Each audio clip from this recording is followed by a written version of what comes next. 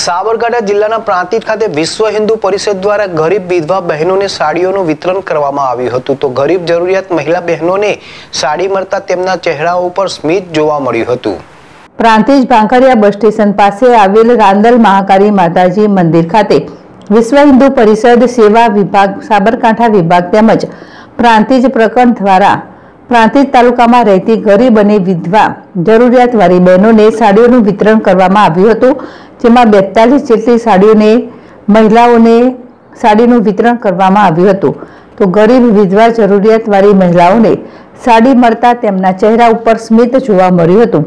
તો આ પ્રસંગે વારાહી શક્તિપીઠ મંદિર પોગળુના મહંત અને મહામંડલેશ્વર સુનિતલાલજી મહારાજ, વિભાગ સેવા પ્રમુખ નરેન્દ્રસિંહ સોલંકી, સમરસતા પ્રમુખ નટુભાઈ બારોટ, માતૃશક્તિ સંયોજિકા ચેતનાબેન કડિયા, અમરીશભાઈ સોની દેવીબેન પટેલ, ગોવિંદભાઈ રાવલ, રામસિંહ ડાભી, પ્રફુલસિંહ મકવાણા, વિપુલભાઈ જોશી, જયાબેન ચૌહાણ, વિશ્વ હિન્દુ પરિષદના કાર્યકરો અને મહિલાઓ મોટી સંખ્યામાં ઉપસ્થિત રહ્યા હતા.